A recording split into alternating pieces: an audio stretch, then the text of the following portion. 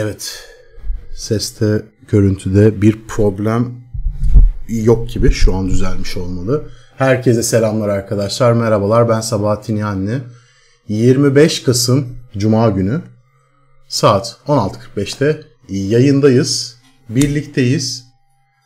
Herkese öncelikle selamlar ve saygılar. Hepiniz hoş geldiniz arkadaşlar. Güzel bir yayın olmasını diliyorum. Ee, öncelikle yayına başlamadan önce tüm e, süreç içerisinde geçmiş olsun dilekleriniz için herkese çok teşekkür ediyorum. Gerçekten e, çok iyi hissettirdi. Herkese ayrı ayrı çok çok teşekkür ediyorum bu durum için. Hala sesimde böyle bir e, tam bir oturmamışlık olsa da kendimi iyi hissediyorum. Ee, iyiyim. Yani daha iyiyim. Daha da iyi olacağıma inanıyorum. Hepiniz tekrar hoş geldiniz. Kimler buradaymış hızlıca bir bakalım. Soner Bey, Bilal Bey'i görüyorum. Bahtiyar Bey'i, Burak Bey'i görüyorum. Solcur Hocam burada selamlar. Gonzo Bey'i görüyorum selamlar. Ahtar Hocam çok selamlar. Hoş geldiniz hocam. DC şeyi görüyorum selamlar. Adem Bey, Arzu Hanım hoş geldiniz selamlar. Ersin Bey, Vedat Bey, Nur Doğan Zaban hoş geldiniz. Güzel bir yayın olmasını diliyorum ben de. Güzel, stressiz, sakin olmasını diliyorum. Hoş geldiniz.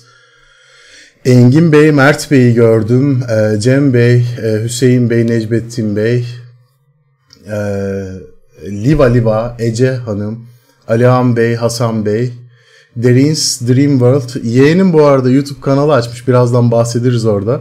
Derins Dream World diye 8 yaşında inanılmaz heyecanlı. Birazdan konuşuruz onu da. Fatih Bey gelmiş. Ee, Ati'yi görüyorum. Serhan Bey, Araf Hocam selamlar, hoş geldiniz. Engin Bey, Serdar Bey, Yunus Bey, Fatih Bey, Ahmet Bey, Vedat Bey, Samet Bey'i görüyorum. Mehmet Bey'i, Şehmus Bey'i, Buket, Mert, Mert'i görüyorum. Caner Bey'i, Metin Bey'i, Bilal Bey'i, Mahmut Bey'i görüyorum. İhsan Bey, Emrah Bey, Ferhat Bey. Hoş geldiniz. Herkese tekrar tekrar selamlar ve saygılar. Nasılsınız arkadaşlar? Nasıl geçti bu hafta? Çok ekstrem bir hareketlilik olmadı yukarı ya da aşağı yönlü ama siz neler yaptınız? Ee, nasıl gidiyor? Ee, haftayı nasıl geçirdiniz? Bugün biliyorsunuz ki haftanın son günündeyiz en azından global anlamda. Tabii ki Amerika tarafı dünden beri kapalı. Ee, affedersiniz, çok affedersiniz. Yeğenim 9 yaşında. Geçen ay e, doğum günüydü, 9'a girmişti. Şu an düzeltmesini de yaptı. Haklısın. Ee, zaman çabuk geçiyor tabii. Ayak uydurmak zor oluyor. İşlemde misiniz? İşlemlerimde herhangi bir değişiklik oldu mu? Şöyle bir bakacağım. Birazdan konuşuruz işlemlerimi. Hangilerimi verdim, hangilerini vermedim bilmiyorum ama şu an ben elimde taşıdığım net işlemleri size söyleyeyim arkadaşlar. Tam olarak noktasal olarak size taşıdığım işlemleri söyleyeyim. Ee, sonra da şeydi tabii ki spotları zaten biliyorsun şimdi geçip tek tek spotlara bakmayacağım. Vadelilerde 5 tane pozisyonum var arkadaşlar. Ee, yo 5'ten de fazlaymış. Neyse Atom var arkadaşlar. Atom longum var. 8 dolar 99 centten şu anda yaklaşık olarak %38 kar yazıyor. Ripple longum var arkadaşlar 35 centten 35 ondan şu anda yaklaşık %40 yazıyor. Ethereum longum var arkadaşlar. 1118 dolardan şu anda taşıdığım bir Ethereum longum var. Yüzde yaklaşık 18-17.90 civarı bir kar yazıyor. Bir AVAX longum var. 11 dolar 77 sentten şu anda %23.96 kar yazıyor. Ve bir de Matic longum var arkadaşlar. 0.78 12 sentten bu da e, yaklaşık olarak %20'ye yakın şey yazıyor. Tabii ki eskilerden taşıdığım short işlemlerim var. 22 bin küsürlerden falan. Onlar zaten artık bayağı %25'e yakın şey olduğu için kar marjının çok bir önemi yok. Ondan alacağımı zaten aldım. Şu an taşıdığım bütün marjin işlemler bunlar arkadaşlar. Onun dışında tabii ki spot yatırımlarım var bildiğiniz üzere. En son sanırım e, bunlardı yine. Tekrar hoş geldiniz. Ee, ne zaman 20-21K'ları göreceğiz konuşuruz arkadaşlar. Yani kafamda bir şey var, bir e, plan var. En azından bir strateji var. Ne olabilir, ne bitebilir diye bunları konuşuruz. Kalan Baki'ye hoş geldiniz hocam. Teşekkür ederim. Tekrar tekrar teşekkür ederim. Ee, güzel temennileriniz için. Geçeceğiz şimdi analiz kısmına geçeceğiz. Ee, Muhammed Hocam siz de hoş geldiniz selamlar. Kırmızı ışık birazdan karar veririz ona hocam. Bugün biliyorsunuz arkadaşlar Amerikan tarafında Amerikan tarafında spot e, piyasalar açılmayacak. O yüzden rahat rahat konuşabileceğiz. Herhangi bir e, zaman kısıtlamamız olmayacak. Piyasada neler oluyor? Kripto tarafında DXY ne durumda? Spot tarafta Amerika ne durumda? Bunları konuşabileceğiz. Haber akışlarını hem global taraftaki hem de kripto tarafındaki global e, haber akışlarını konuşabileceğiz. Bunları yorumlayabileceğiz. E, bir strateji e, ortaya koyabileceğiz ki hali hazırda birkaç stratejim var. Çünkü e, geçtiğimiz 2-3 gün boyunca neredeyse hiç çalışmadım arkadaşlar. Ve e, şunu fark ettim ki insan çalışmayınca bir gün yaklaşık olarak 350-400 saat falan oluyormuş. Bitmedi arkadaşlar. Bitmeyince de ben de ufak ufak böyle bir kendi kafamda ne yapabilirim, neler olabilir ve vesaire diye düşünmeye başladım ki bir şeyler ortaya çıktı tabii o süreçte. Ama bitmedi yani şu süreç gerçekten bitmedi. Neyse ki şu an daha iyi.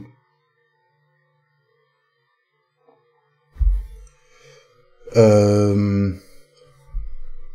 hadi bakalım bir kriptoya giriş yapalım. Umarım sizler umarım sizler de iyisinizdir diyerek kripto tarafıyla bir giriş yapalım arkadaşlar. Şimdi biz en son nerede kalmıştık? Nerede kaldığımızın çok bir önemi yok arkadaşlar. Şunu söyleyebilirim. Bitcoin ayın 23'ünde 16.300 alanının üzerine çıktıktan sonra ayın 23'ünden beri yani yaklaşık 2-2,5 gündür arkadaşlar şu anda gördüğümüz şey şu. 16.300 16.000 bu niye böyle olmuş? Düzelt. Şöyle biraz kalınlaştır. Okey. Bu iki günlük süreçte gördüğümüz şey şu arkadaşlar. 16.300, 16.800. Burada çok basit bir range oluştu. Yukarı gidiyor, aşağı geliyor, yukarı gidiyor, aşağı geliyor. Yukarı gidiyor. Tabi burada bir orta bandımız da var. Görünmez bir orta band gibi ama böyle bir range'in varlığından bahsedebiliriz. Piyasa oturdu. Şu anda maalesef piyasa 17 bin dolarların aşağısına ki hatırlarsınız yakın geçmişte dip olarak gördüğümüz bir bölgeydi 17.500. Ee, maalesef ki e, hem dip olmamakla kaldı aşağısına inişimizde maalesef bir iğne olarak kalmadı arkadaşlar. Artık bu bölgeye yerleştik. Bakın 17.500 aşağısında bir range oluşturmaya başladığını görüyoruz fiyatın ki e, bu ileride 17.500-17.600 bölgesinin karşımıza hatta 18.000 bölgesinin karşımıza bir direnç olarak çıkacağını gösteriyor ki en azından swing trade'ler için karşımıza gelen kötü bir e, durum oluyor. Ancak kısa vade baktığımız zaman şu anda fiyat hareketliliğinde çok bir anormallik yok. E, hoş geldiniz bu arada Bülent Bey tekrar. Yener Hocam sizler de hoş geldiniz. Şu an Bitcoin'de böyle kısa vadede bir yapı oluşuyor. Bir Tobomsu yapı görüyorum burada. Tabii ki bunun için hacim profilini e, takip etmem gerekiyor. 15 dakikalıkta bakınız şöyle bir lokal tepe dediğim bölgede bir tobomsu bir yapıya evre, evrilme durumu var. Ancak gördüğüm şey şu arkadaşlar burada hacmin stabil bir şekilde azaldığını görüyorum. Doğal olarak buradaki bu lokal alandaki lokal tepedeki noktaya ben bir pardon toba diyorum obo diyemiyorum arkadaşlar. Çünkü bildiğiniz üzere obo yapılarında bizim e, omuz, baş, omuz dediğimiz noktalarda, omuz noktalarında ve bizim baş dediğimiz noktalarda çok sert bir şekilde yükselen hacimsel yapılara şahit oluruz. Şu an gördüğümüz hacimsel yapı daha çok bir üçgen ya da kama dediğimiz yapıyı e, gösteren bir e, yapının hacimsel yapısını gösteriyor. Doğal olarak burada bir obo var mı diye soracak olursanız şimdiden peşinen söylüyorum. Burada teknik olarak bir obo yok arkadaşlar. Ancak fiyat bir range içerisinde ki bu range'in büyüklüğü tatmin edici bir büyüklük. Yaklaşık olarak %3'e yakın bir range'in içerisinde aşağı yukarı gidip geliyor. Hatta şöyle size range'i göstereyim. Daha net olarak şu şekilde çizersem bakınız e, üst bandı 16.825 diyebilirim. Hadi biz bunu şuraya alalım. Direkt grafiğe göre çalışalım. 16.800 üst band. 16.330 alt band ve 16.570'lerin de orta bant olduğu bir range içerisinde gidip geldiğimizi görebiliyoruz. Kısa zaman paritesi içerisinde şu an için ekstrem bir değişiklik yok. Buna göre tabii ki kısa vade işlemler, longlar, shortlar alınabilir ki birazdan almaya başlayacağım muhtemelen. Çünkü haber akışlarında ekstrem bir değişiklik yok. Haber akışı yoksa teknik güzel çalışır. Teknik güzel çalışırsa da çok güzel scalp işlem veya day trade işlemler yapılabilir. Ethereum'a geldiğimiz zaman Ethereum'daki durum çok daha can sıkıcı arkadaşlar. Ethereum'da güzel bir yükselen kanal yapısı vardı. Bayağı güzel çalışıyordu. Sonra e, Daily Point of Control DPOC dediğimiz noktadan redeyip bu kanalı aşağı yönlü kırdığını görüyoruz ki şu an tekrar yukarı doğru bir çıktı yakın geçmişte ve tekrar e, Daily POC'den Daily Point of Control noktasından red yediğini görüyoruz. Bu altcoin'ler için ultra tehlikeli bir durum arkadaşlar. Çünkü range'i kırıyorsun, retest'e geliyorsun ve point of control en azından daily anlamda point of control noktasından yaklaşık olarak kendisi 1203 dolar, 1202 dolar bandından geçiyor.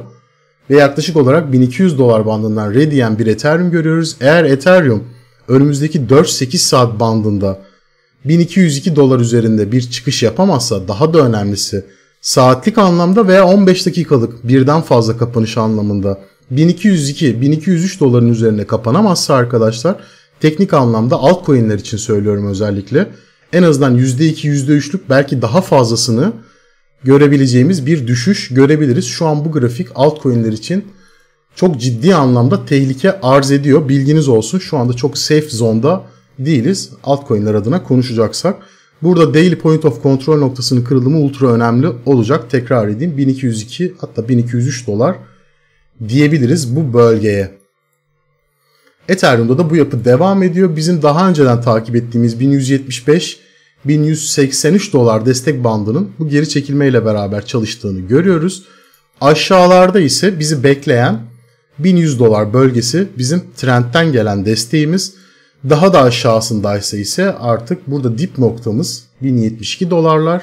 Yine çalışmasını bekleriz. Ancak en güvenilir olarak tabir edeceğimiz bölge ise 1000 dolar ile yaklaşık olarak 950-960 dolara tekabül eden şuradaki alanımız Bitcoin'in pardon Ethereum'un en güvenilir kısa vade destek alanı kısa vadeden kastım da tabii ki 1,5-2 aylık periyotlardan bahsediyorum arkadaşlar burada. Yukarı yönlü baktığımız zamansa bizi bekleyen en önemli noktalardan biri yaklaşık olarak 1233 dolar. Burada hem trendin üst noktasına tekabül ediyor yaklaşık olarak hem de buradan gördüğünüz kısa vade bir direnç alanı oluşturmakta.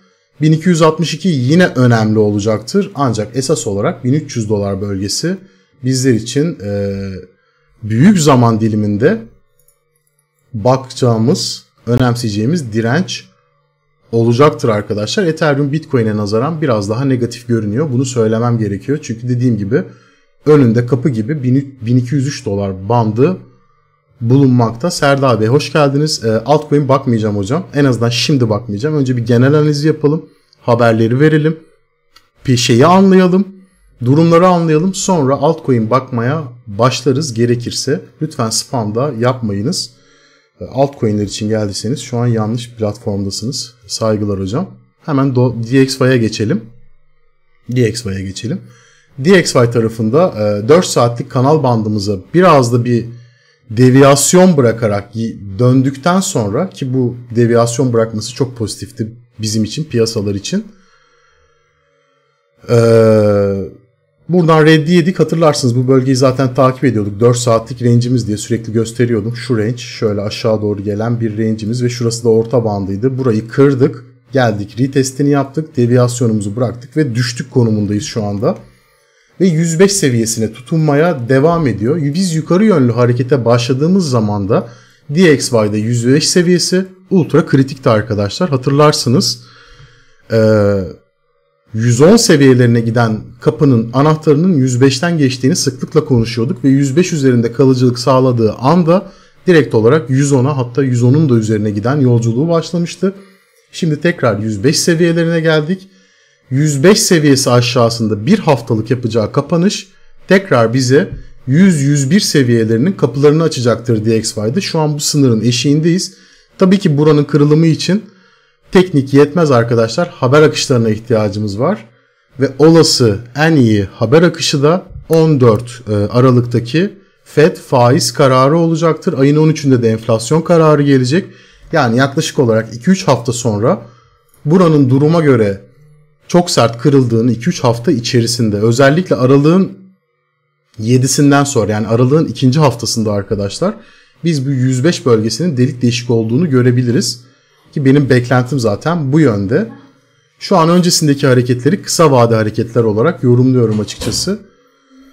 Yine de şu an bulunduğu bölge yine çok geçmişten beri takip ettiğimiz 106.20 106.40 alt bandı 107.20 107.40 üst bandı olarak tabir ettiğimiz bu range'in şu an alt tarafına doğru giriş yapmakta DX var ve bu yükseliş kriptoya ve vadelilerde en azından Amerikan piyasalarına bir nebze negatif yansıyacaktır. Tabii ki bu hareketin devam etmesi durumunda.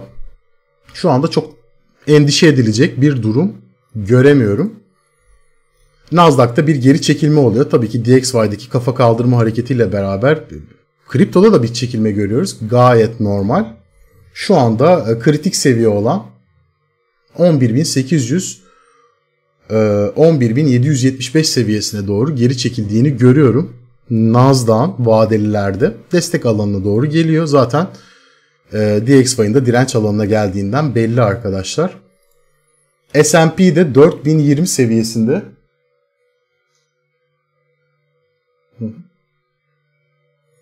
S&P 4020 seviyesinde arkadaşlar. S&P pozitif, pozitif, pozitif arkadaşlar. Pozitif olmaya devam ediyor. Şu an hafif bir geri çekilme yaşıyor. Yaklaşık olarak 4040 seviyelerinden şuradaki tepesinden ki burada asıl direnci zaten 4050 seviyesi. O bölgeden geri çekilme yaşıyoruz. Hiçbir problem yok Amerika tarafında şu an için.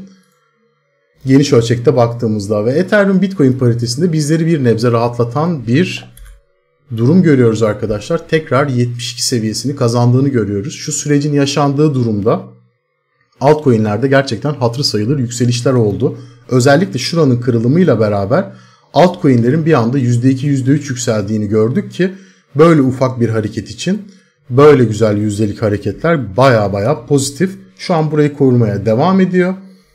Ancak e, şu anki kısa vade piyasa koşullarına bakarsak buralarda tutabileceğini çok sanmıyorum. 72 seviyesini çalışabilmesi için Ethereum'u daily point of control noktasını aşması gerekiyor arkadaşlar. Yani 1203 seviyesini aşması gerekiyor. Ve maalesef şu anda en azından e, bir e, şey gerekiyor. Bir yukarı yönlü hareket gerekiyor. Abdullah Bey hoş geldiniz. Dediğim gibi altcoin'lere şu an bakmayacağım. Altcoin'ler için buradaysanız lütfen terk ediniz hocam. Altcoin bakmıyorum şu anda. E, zamanı gelince bakarız.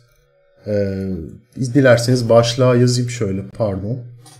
Hemen e, bir şey yapayım arkadaşlar. Küçük bir başlık düzeltmesi. Altcoin bakmayacağım diye herhalde e, altcoin ısrarlarını sonlandıracaktır.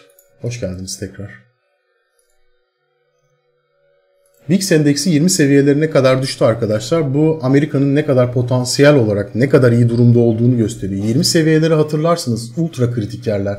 En son Amerika borsaları daha doğrusu VIX endeksi özelinde biz buralara geldiğimizde bakınız arkadaşlar e, Ağustos dönemleriydi ki şöyle Bitcoin'e Ağustos dönemlerinde baktığımız zaman fiyatın 24 bin 25 bin lira yolculuğunun başladığı dönemlerde VIX yine aynı yerdeydi arkadaşlar. Amerika yine aynı durumdaydı. Yine iyi durumdaydı.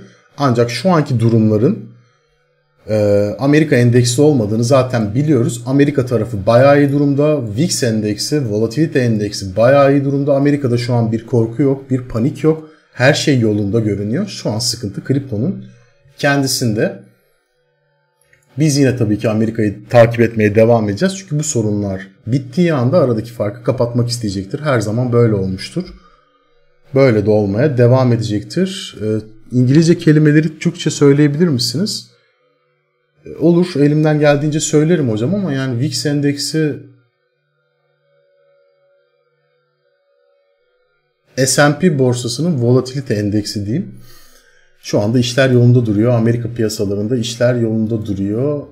Brent petrole baktığımız zaman, petrole baktığımız zaman sert bir düşüş gelmişti. Açıkçası şu bölgedeki şu bölgedeki haber akışlarını pek takip edemedim arkadaşlar. Ne olduğunu bilmiyorum.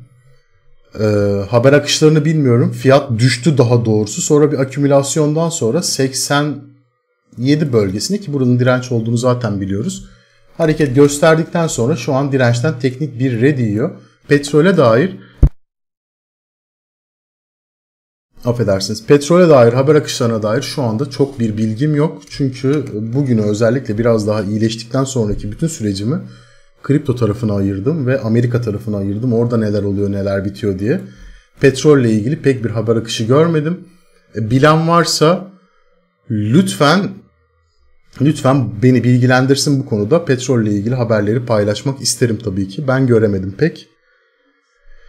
Ee, Abdullah Bey sizi kenara alıyorum hocam. Teşekkür ediyorum.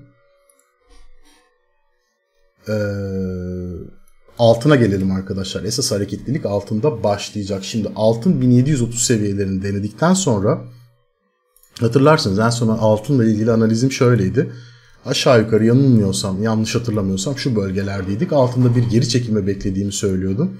Ve sonrasında sert yükselişler göreceğimizi altın geldi, düştü, çıktı Şimdiki haber akışlarına baktığım zaman altının bir wave daha aşağı inmesi gerekiyor ki şu an bunun başlangıcını yaptığını görüyoruz. Muhtemelen arkadaşlar muhtemelen ya 1730'ları bekliyor olacağım altında ya da en güvenilir bölge olan 1700 bölgelerini gördükten sonra altında ki görürsek emin değilim. Altında şu bölgeyi çok net bir şekilde long işlem olarak kullanmayı planlıyorum. Çünkü süreç içerisindeki en azından önümüzdeki Aralık ayı sonrasında yani Aralık Ocak, Şubat ve Mart ayı için altın tarafında bayağı pozitifim. Bunda hem faiz artışlarının hızının azaltılması hem de e, global taraftaki haber akışlarının altın emtiyasına bayağı yarayacağını düşünüyorum ki kripto sever arkadaşlara yine pozitif bir durumdur bu. Çünkü altına giren para daha doğrusu şöyle söyleyeyim e, temel emtialara giren paranın bir kısmı bir şekilde döner dolaşır kripto piyasasına özellikle Bitcoin'e uğrar arkadaşlar. Uğramadığı çok nadir zamanlarda görülmüştür ki geçtiğimiz haftalar çok nadir zamanlardan biriydi. Biliyorsunuz zaten gelişen olayları. O yüzden altın yakın takipte devam. Altında ne olduğunu anlayabilen bir insan şu anda çok yüksek miktarda pozitif korelasyon içeriyoruz altın tarafıyla beraber en azından geniş ölçekte baktığımızda altın tarafında ne olduğunu anlayabilen insan kriptonun da akıbetini, süreç içerisindeki akıbetini anlayacaktır. En azından şu genel e, yapı bozulduktan sonra şu FTX olayları işte Binance olayları bittikten sonra bunu önemseyin arkadaşlar. Altın önemli olacaktır. Ayrıca kendi de zaten çok güzel paralar kazandırır. Hang Seng'e baktığımız zaman Hang Seng'de çok bir hareketlilik yok. Haftayı 17.500 bölgesinde kapattık ki ben yine söylüyorum en son yayın yaptığım gün söylemiştim. Çin tarafı bu kadar Covid vakasına rağmen, bu kadar kötü söyleme rağmen, tedarik zincirlerindeki bu kadar bu kadar e, sıkıntıya rağmen hala 15 17 bin bölgesini geçtim 15 bin bölgelerine 90 derecelik mumlarla inmiyorsa burada Çin bölgesinde Çin tarafında bir şeyler yolunda gidiyordur. Borsaya olan güven yüksektir ve bu bayağı pozitif arkadaşlar. Bilmeyen arkadaşlar için söyleyeyim. Globalde her şey Çin'den başlar. Amerika'da biter arkadaşlar. Çin iyi değilse bu dönüp dolaşıp kötü bir şekilde Amerika'ya yansır. Ve doğal olarak bir bütün olarak her şeyi ele alıyorsak, bütün dünyaya bir, e, bütün finansal piyasalara bir bütün olarak bakıyorsak Çin'i burada göz ardı edemeyiz. Ve bildiğiniz üzere global piyasalar kriptoya da etki ediyor. Her ne kadar şu anda sadece haber akışlarıyla ilerliyor olsak da bu durum değişecektir. Bakmadığım herhangi bir endeks var mı diye şöyle bir göz gezdiriyorum ki Amerikan 10 yıllık tahvil faizlerini geçmişiz. Bu bayağı önemli. Tahvil faizleri arkadaşlar sonunda sonunda 3.75 bölgesini kaybetti. Aşağı doğru sert bir hareket gerçekleştirdi ve şu an retest bölgesine doğru gelmiş görünüyor. 3.75, 3.74 bandı burada. Esas şey durum. Şöyle çizip kafa karışıklığı olmasın. Her zaman takip ettiğimiz range şu alan geldi. Buradan eğer bir beklendiği üzere bir aşağı yönlü hareket görürsek bu bayağı pozitif olacaktır. Hem mortgage faiz oranlarının düştüğünü göreceğiz. Buradaki resesyon kaygılarının giderilmesi adına Amerikan piyasalarını rahatlatacaktır. Hem DXY'de bir düşüş göreceğiz. Doların değer kaybetmesinden dolayı bu Amerikan piyasalarına pozitif yansıyacaktır. Hem global tarafta doların değer kaybetmesiyle dolara ihtiyaç duyan ülkelerin dolara daha rahat erişimi sayesinde daha iyi bir global ekonomi görmemizi sağlayacaktır vesaire vesaire tonlarca durumu var bunun. Kaldı ki Amerika'nın kendi dolar borcu var biliyorsunuz. E, doların değer kaybetmesi burada 10 yıllık tahvillerin düşüşüyle beraber yine burada bir pozitif etkisi olacaktır. Artık dolarda bir değer kaybı görmemiz gereken zamanlara giriyoruz. Umarım 10 yıllık tahviller bunun e, başlangıcını, işaret fişeğini oluşturur bizler adına. Şu an güzel. Uzun zamandır bu bölgeyi kaybetmemiştik. 3.75'leri. Şu an aşağısındayız. Umarım aşağı yönlü hareketler devam eder arkadaşlar. Şu anki temel durumlar burada. Tabii ki euro dolardan da bahsetmemiz gerekiyor. Nefes nefes gidip geliyor arkadaşlar. Biraz dinlenmem gerekiyor ara ara. Euro dolar hala en aşağıda 1.01 daha doğrusu 1 seviyesi daha kısa vadede 1.03 1.05 arasında gidip gelmelere devam ediyor. Hala bir range içerisinde savrulmaya devam ediyor. Burası da burası da e, yani euro dolar paritesi de yine 14 Aralık'ı bekleyenler listesinde o kuyrukta yerini alıyor. Gelecek faiz arttırımına göre gelecek enflasyona göre muhtemelen ben 1.05'lerin üstüne çıkmasını bekliyor olacağım süreç içerisinde. Japon yeninde dolara karşı bir değer kaybı var arkadaşlar. Bunun sebebini de hemen size söyleyeyim. Bu arada DXY'deki yükselişi de bu haber akışlarıyla beraber anlamlandırabileceksiniz. Bu arada Soner Bey hoş geldiniz gruba. 5 aydır üyesiniz. Zaten grup kanal ilk açıldığında ilk üye olanlardandınız. İstikrarlı bir şekilde de üye olan tek kişisiniz bildiğim kadarıyla. Çok teşekkür ederim hocam büyük desteğiniz için. Tekrar hoş geldiniz. Güzel. Yani sizin üyelik sayınıza bakarak kanalın kaç aydır açık olduğunu görüyorum. Güzel 5 aydır açık bir kanalmışız. Hoş geldiniz tekrar.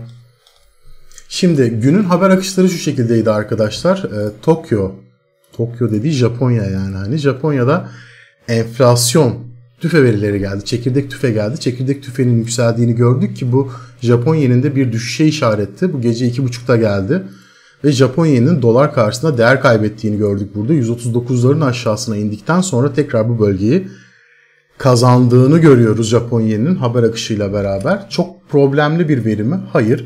Çok problemli bir veri değil. Çünkü Japonya zaten aylardır hatta yıllardır hiçbir şey yapmayarak zaten berbat durumdaydı. Şu an bir şeyler yapmaya başladı. Ancak yaptığı şeylerin etkileri önümüzdeki birkaç ay içerisinde göstermeye başlayacaktır kendini ki şu anda çekirdek enflasyonun yükseliyor olması çok büyük haber niteliği değil. Hatta şöyle söyleyeyim 3.7 3.8'leri beklerdim. 3.6 burada bence iyimser sayılabilecek bir e, çekirdek enflasyon verisi Japonya tarafında ancak buna istinaden şeyin e, Japonya'nın dolar karşısında değer kaybettiğini gördük. 139.5'lara kadar geldik. Günün bir diğer önemli verisi ise Almanya'da gayri safi yurt içi hasıla verisi geldi. Üçüncü çeyrek arkadaşlar 1.2 geldi. Almanya'da bir küçülme görüyoruz. Almanya'da küçülme demek Avrupa ekonomisinde küçülme demek. Avrupa ekonomisinde küçülme demek de bildiğiniz üzere Euro'nun değer kaybı anlamına geliyor ki bizim DXY'da gördüğümüz yükselişin temelinde yatan haber akışı tam olarak bu arkadaşlar. Almanya'da küçülme, Avrupa'da küçülme durumu. Ki zaten euro dolar paritesinde şurada gördüğümüz düşüşünde ana kaynağını oluşturan haber akışı yine bu Avrupa tarafındaki, Almanya tarafındaki gayri safi yurt içi hasıla arkadaşlar. Şu anda temel taraftaki haber akışları bunlar.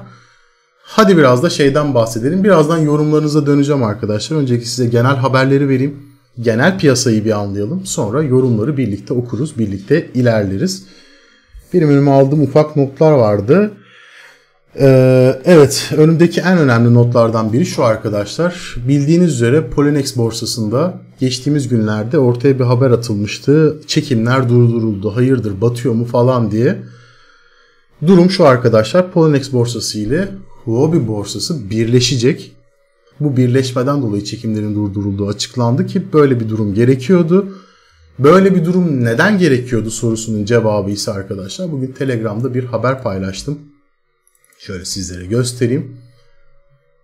Ee, nerede o haber? Binance borsası Bitcoin rezerv kanıtı paylaşımlarını başlattı diye bir haber düştü arkadaşlar. İşte bu haber ki zaten borsalar bunu önceden biliyordu zaten. Bu paylaşılan bu haber Poloniex borsası ile Huobi borsasının birleşmesinin sebebi neden diyeceksiniz? Çünkü Huobi borsası da Poloniex borsası da berbat durumda arkadaşlar. Diğer neredeyse bütün borsalar gibi berbat durumdalar. Rezervlerinde adam akıllı Bitcoin yok. Kendi yatırımcılarının e, durumlarını karşılayamayacak seviyedeler. Ancak bizim bundan henüz haberimiz yok. Binance da böyle bir haber ortaya atınca yani ben rezervlerimi açıklıyorum arkadaşlar. İnsanların size güvenmesini istiyorsanız siz de rezervlerinizi açıklayın çağrısını yapınca e tabii ki etekler tutuştu arkadaşlar. Şimdi Huobi ve Poloniex borsası birleşecekler. Güçlerini birleşip iki yarım borsa bir borsa edecek. En azından şu anki durumları itibariyle.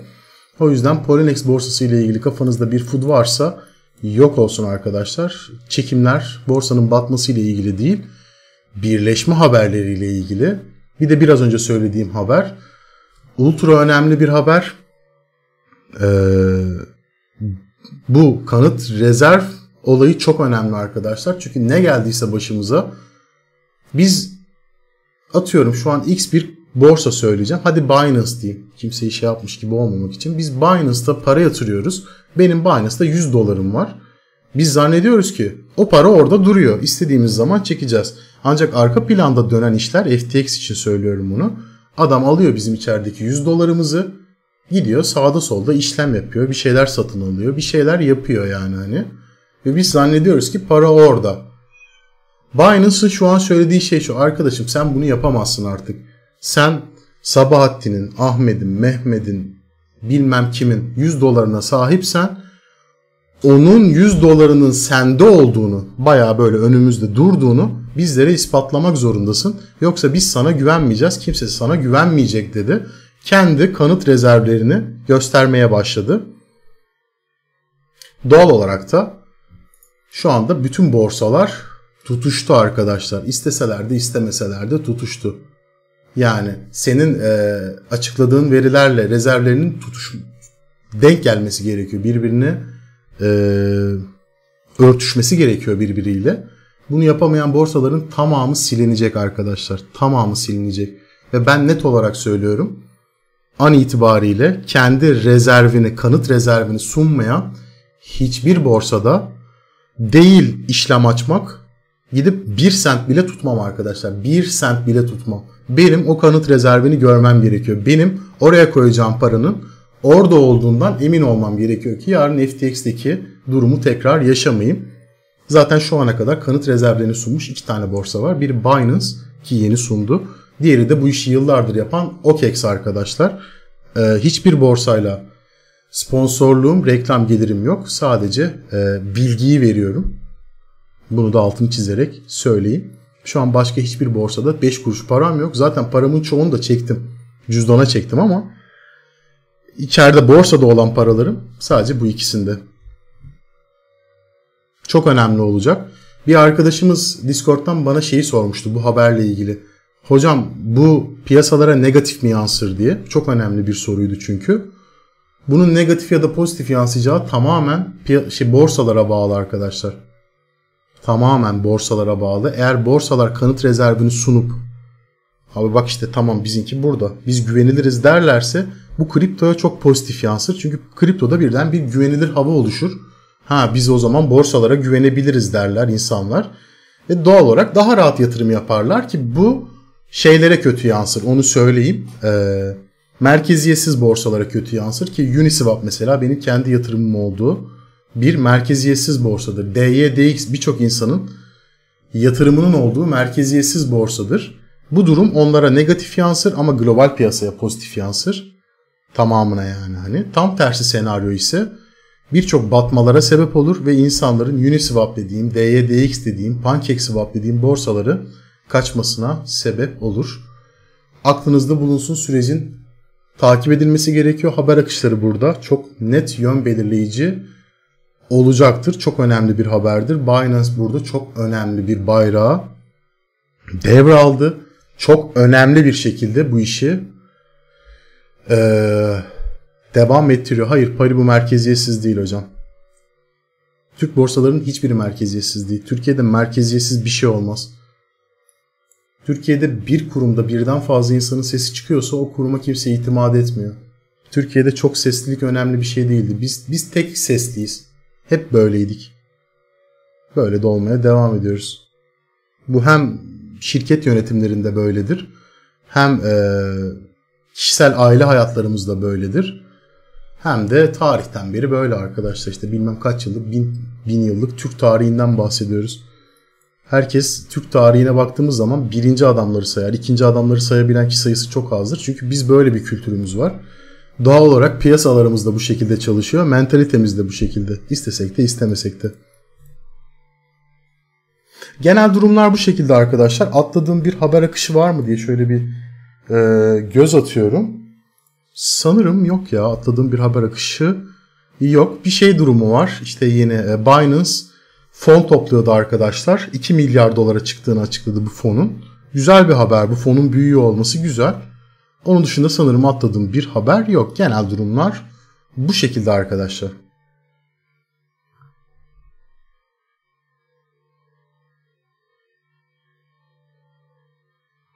Arkadaşlar tekrar söylüyorum. Bakınız yetmedi başlığa yazdım. Altcoin bakmayacağım şu anda. Şu an altcoin bakmak dünyanın en gereksiz şeyi. Çünkü saçma sapan davranan bir piyasada saçma sapan şeylerin ne yapacağını anlamaya çalışıyorsunuz.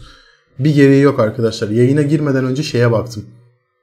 Altcoin'ler ile Bitcoin arasındaki korelasyona baktım. Ortak korelasyon yaklaşık olarak %88-89 hatta %90 oranında ortak bir korelasyon var. Bunun anlamı şu hocam.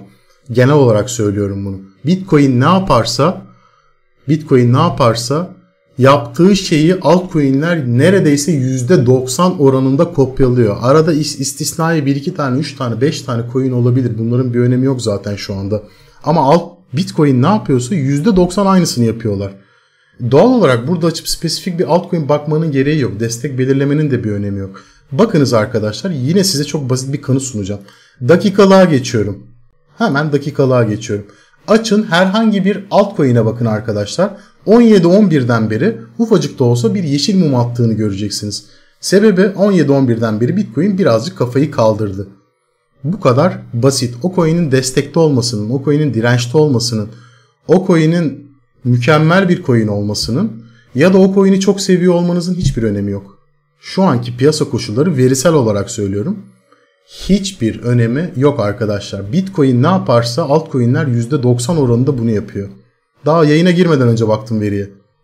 O yüzden lütfen altcoin bakmayalım. Çünkü gereği yok. Bakın şu an yükseliyorlar. Nerede? Hemen bakıyorum Mati'ye. Dakikalıkta bakacağım. Dakikalık yükseliyor. 17-11'den beri yükseliyor. Atom 17-11'den beri yükseliyor. Polkadot yani yükselmiyor da düşmüyor da en azından öyle söyleyeyim. İstisna. Uniswap yükseliyor. ICP 17-11'den beri yükseliyor. Ripple 17-11'den beri buyurunuz buradaydık. Yükseldik. AVAX aynı. Solana istisna Solana'nın haber akışı var. Eyvallah Solana'nın sıkıntılı durumlarından dolayı. Elrond aynı.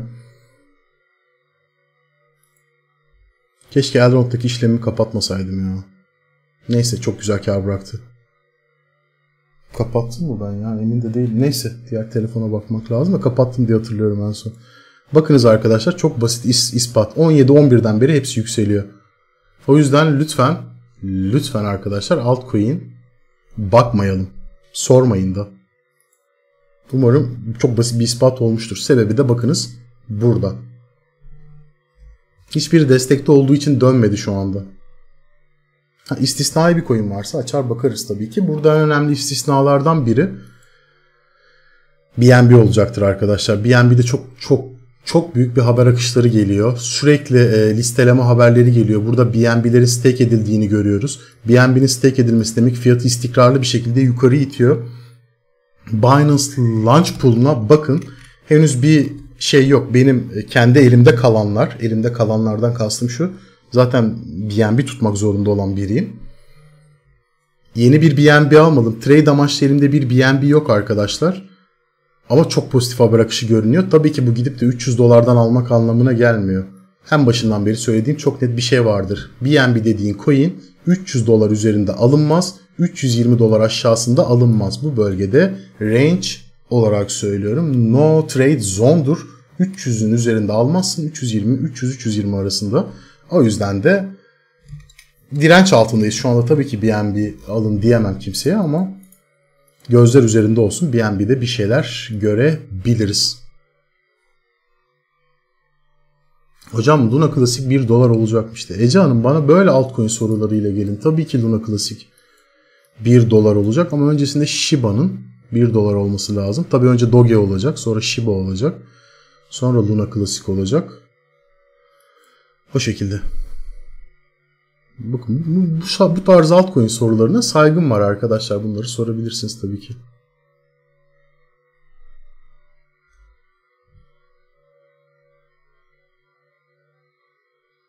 Ren, Ren'e bakabiliriz bu arada. Ren'e birazdan bakabiliriz. Çünkü Ren'in e, hatırlarsanız hackleme olayında daha doğrusu FTX'in hackleme olayında RBTC diye bir söylem vardı sıklıkla söylediği. Orada dedikleri R arkadaşlar e, aslında şu an sizin baktığınız R. E, o yüzden buna şu an bakılabilir ama tam şu an anlık değil. Biraz muhabbetimizi, sohbetimizi edelim. Sonrasında bakabiliriz. Oradaki haber çöküşünden sonra şu an pozitif iş görüyor olabilir. Bu işi tam zamanlı yapıyorum arkadaşlar. Evet. Bu işi yıllardır tam zamanlı yapıyorum. İşimi bıraktım. istifamı verdim. Çıktım. Madem buradan iyi para kazanıyorum tamamen bunu yapıyorum dedim ve yapıyorum. Bu kararı verdiğim günden beri keyfim de çok yerinde. Ancak tavsiye etmiyorum. Celal Bey hoş geldiniz. Hoş geldiniz selamlar. İşin neydi? Ee, bir tekstil firmasında dış ticaret sorumlusuydum. O zamanlarda dolarla kazanıyordum arkadaşlar öyle söyleyeyim. Güzel para kazanıyordum. Bayağı da keyifle yaptım. Sonra baktım abi zaten piyasalarla ilgileniyorum. Piyasada güzel para var. Ben neden bu işi geçmiyorum dedim. Eve geçtim yapıyorum. Keyfim yerinde memnunum mutluyum. Birazdan bakarız Ersin Bey bu arada. Hoş geldiniz tekrar. Niye tavsiye etmiyorsunuz? Çünkü çok kolay gibi görünüyor arkadaşlar. O kadar kolay görünüyor ki. Aa, adam açıyor yayını. iki tane çizgi çekiyor. Ee, yükseliyor. Para kazanıyor. O süper mükemmel. Bir de herkes yayıncıları izliyor. Ben ben de birçok insan gibi çok fazla para kaybeden yayıncı görmedim. Genellikle yayıncılar para kazanır arkadaşlar. YouTube fenomenleri genellikle para kazanır Şöyle söyleyeyim 100 işlemin 99'u başarıyla sonuçlanır. Bir tanesi nazarlık olur. Bu herkes için böyledir. E, insanlar bunu görüyor. Diyor ki ya çok kolay abi baksana ya bu adam bir şey bilmiyor. Bu bile 100 işlemde 99'u yapıyor. E ben de yapayım o zaman diyor. Ve giriyor bu işe arkadaşlar işini bırakarak. Ancak şunu söyleyeyim arkadaşlar bu işten para kazanıyorsanız ya güzel sermayeniz olması gerekiyor. Güzel sermayeden kastım şu ben bugün bu kriptoyu bıraksam arkadaşlar yaklaşık 78 yaşına kadar yetecek para var bende. Bunun rahatlığı çok önemli. Çok çok önemli bir rahatlık. Çünkü şey ben bugün para kazanmak zorunda değilim. Şu an kazanmak zorunda değilim. Ama siz cebinizdeki 500 dolarla girip hem ayı geçirip hem de para kazanmak zorundaysanız o zaman terlemeye başlıyorsunuz. Bir defa bu psikolojinin altından kalkmak problem değil. Çok büyük problem. İkincisi arkadaşlar. İkincisi şimdi çok kolay gibi görünüyor ama düşünsenize düzenli bir şekilde para kazanmak zorundasınız. Para kaybettiğiniz her an size eksi yazıyor. Her an. Çünkü gelişlemeniz gerekiyor. Piyasa büyüyor. Her gün yeni bir şeyler öğrenmeniz gerekiyor. İnsanlar zannediyor ki ben burada yayını açıyorum.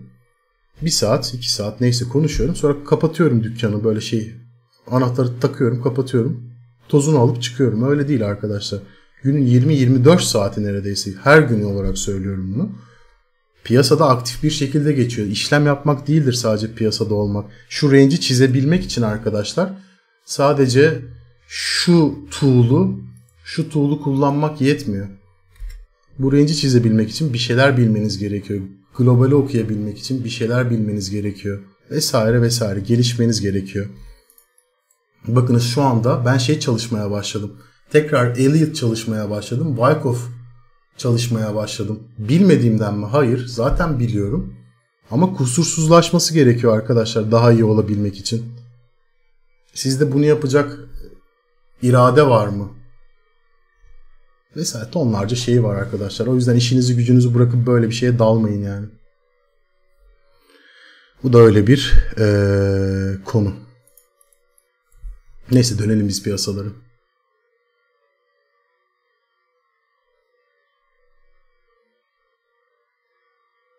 Avrupa çok kötü sakın gelmeyin gibi. Arkadaşlar dileyen gelsin ya. Kimse benim sözümle hareket etmesin. Herkes burada bilinçli insanlar. Yani ben kimseye ne yapıp ne yapmayacağını söylemiyorum. Ben kendi tecrübelerimi söylüyorum sadece. Dileyen gelsin. Hiç problem yok. Sonuna kadar desteklerim. Avrupa aç gelmeyin. Nerede yaşıyorum? Kocaeli'de yaşıyorum hocam. Yakın bir zamanda Avrupa'da yaşamak e, üzere.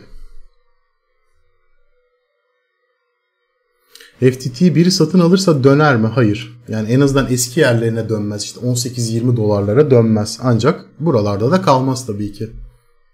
Kocaeli nerede? İzmit'teyim hocam. Amerika düşmeye devam ediyor. Bunlar tabii ki vadeliler. Spot taraf. Aa spot taraf açıldı mı ya? Hayda. E bugün kapalı olacaktı. Bir saniye arkadaşlar. E, durum değişti. Şu an ben Amerikan piyasalarının açık olduğunu görüyorum. İyi. Daha iyi o zaman. Süper. Müthiş. Avrupa piyasaları açıkmış arkadaşlar. Bugün yarım gün. O ne öyle ya? Şey gibi. Ben bugün de kapalı diye biliyordum. Neyse tamam daha iyi süper süper çok çok iyi arkadaşlar. Çok çok iyi. Avrupa yani Amerika'nın açık olması daha iyi oldu burada. Bu arada biraz terliyorum arkadaşlar kusura bakmayın ara ara böyle şey yaparsam. Çünkü dediğim gibi hala hala tam olarak e, iyileşemedim. Enerjim yüksek ama hala böyle vücut şey atıyor. Biraz da efor sarf ediyorum burada konuşurken. Ara ara böyle şey olursa kusura bakmayın şimdiden. Şimdi Amerika'nın açılacağını bilmiyordum. Kusura bakmayın öncelikle. Ben dün gibi olacağını düşünüyordum. Neyse ki açıldı. Bir negatif gap'le açıldı tabii ki beklendiği üzere. E, S&P'de hala bir şey yok ama ya. Yani hiçbir şey olmamış gibi S&P. Nasdaq biraz geri çekiliyor.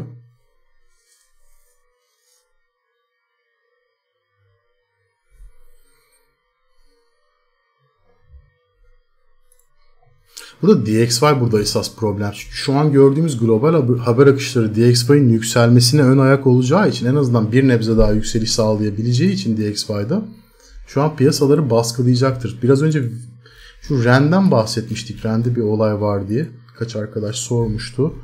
REN şurayı geçmiş. İlk önemli eşiğini açmış. Kendisini tebrik ederim öncelikle. İkinci önemli eşiği olan şu bölgeye gelmiş mi bir bakalım henüz ulaşamamış ama yakınları denemiş. Nereden dönmüş? Buradan dönmüş ki burası çok da mantıklı bir yer değil dönmek için. E, açıkçası 117 seviyeleri hatta 115-117 seviyeleri olarak tabir edebileceğim şurası. Ren'in ciddi bir direnci gibi görünüyor. Buranın aşımıyla beraber biraz daha bir saniye arkadaşlar. Şöyle 4 saatliğe alayım daha net şey söyleyeceğim size. Şurası. Aynen burası arkadaşlar. Ren'in direnci, alt direnci bölgesi de şurası. Şu alan. Aynen 116-117 direncini görüyorum ki 4 saatlikte muazzam hareket yapmış arkadaşlar. Gerçekten muazzam hareket yapmış. Ren gerçekten istisnai bir coin konumunda bugün özelinde. E, yatırımcılarına dikkat etmesini tavsiye ederim. Bu bölge önemli bir direnç. 116-117. Zaten direnç alanının çok yakınındayız. Bilginiz olsun bir şeye bakacaktım. VIX endeksine bakacaktım. VIX endeksi 20'lere düşmüştü en son. Ya destek alanından dönmüş VIX şu an yukarı doğru reaksiyon oluyor. Amerika'nın bir geri çekilme yaşadığını görüyoruz. Başta Nasdaq olmak üzere S&P'de çok bir problem yok ama yine Amerika'nın teknoloji firmaları çılgınlar gibi satıyor arkadaşlar başlangıç itibariyle. Yani Nasdaq'ta bir problem yok. Ama şey satıyor. Hatta şeye baktığımız zaman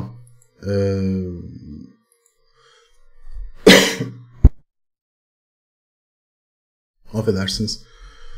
Ee, sanayiye baktığımız zaman sanayi alıcılı hatta öyle söyleyeyim. Ama teknoloji tarafı satıyor arkadaşlar.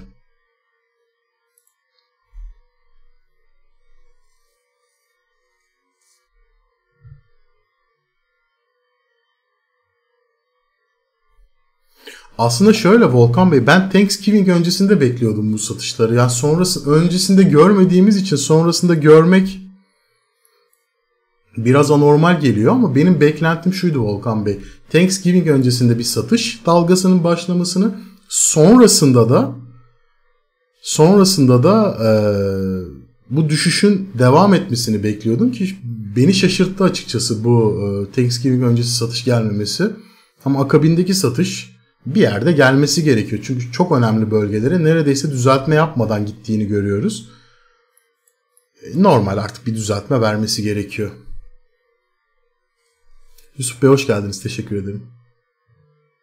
Canlı yayın başladığını nereden haber ediyorsun? Ee, şeyden, Telegram'dan yazıyorum. Discord'dan yazıyorum. Şeyden yazıyorum arkadaşlar. Niye böyle tekrar şey olmaya başladı? Ee, Discord'dan, Telegram'dan yazıyorum. Twitter'dan yazıyorum. Yazıyorum arkadaşlar. Bir sürü yerden yazıyorum. Bu sefer şey yaptım arkadaşlar. Ters ters psikoloji yaptım. Bakınız bu sefer farklı bir şey deneyeceğim. Bu sefer kırmızı ışık yakarak ters psikoloji yaptım. Yaptım. Bakalım sonuçlarını göreceğiz. Çünkü e, bir şeylerin ters gitmesi gerekiyor. Hep böyle düzenli bir şekilde yeşil yapıyoruz, yeşil kırmızı yapıyoruz, kırmızı olmaz. Biraz şaşırtmak gerekiyor. Niyetimi söyleyeyim de önden şey olmasın sonra.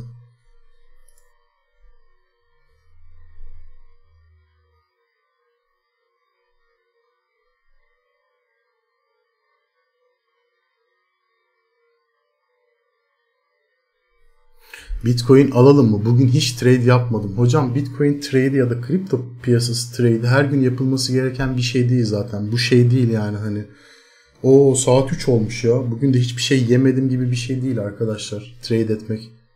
Yapı varsa alırsınız, satarsınız. Yapı yoksa bir şey yapmazsınız. Zorla yapı uydurmazsınız yani.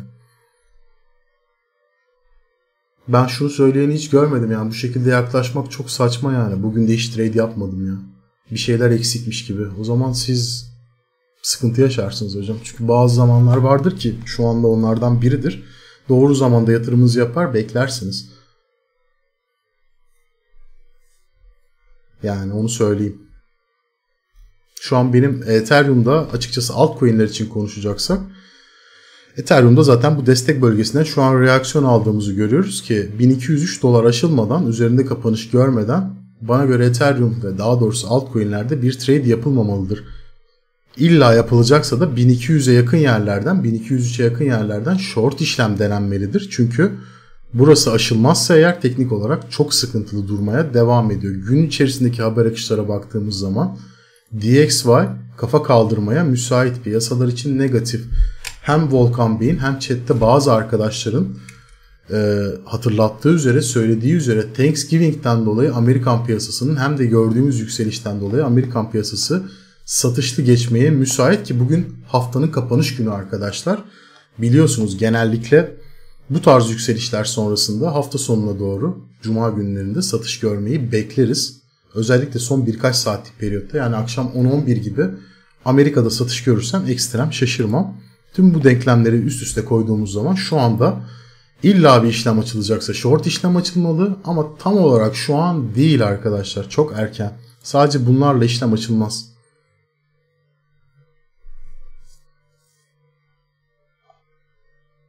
Ya 10-12 dediğim yarım gün doğru söylüyorsunuz. Bu da saat kaça tekabül ediyor? 6-7 pardon 7-8'e mi tekabül ediyor? 6-7'ye mi tekabül ediyor? Selçuk Bey hoş geldiniz. Teşekkür ederim. Daha iyiyim ya. Şu an daha iyiyim. Bakalım ters totem ufaktan böyle bir, bir, bir ufaktan ters totem bir şeyler yapmaya başladı gibi bir bakalım. Bir bakalım bir ters totem ufaktan oldu gibi. Hayırlısı olsun. Bu arada tekrar hepiniz hoş geldiniz arkadaşlar. Yayını beğenerek, kanalı takip ederek bana destek olabilirsiniz. Kanala destek olabilirsiniz. Geçen gün baktım 8000 kişi olmuşuz arkadaşlar. 8030 kişiyiz. 8000'i de aştık. Giderek büyüyen bir yapıya geçiyoruz. Darısı 800 bin lira falan. 10 bin 100 bin falan demeyeceğim. Küçük düşünmeye gerek yok arkadaşlar.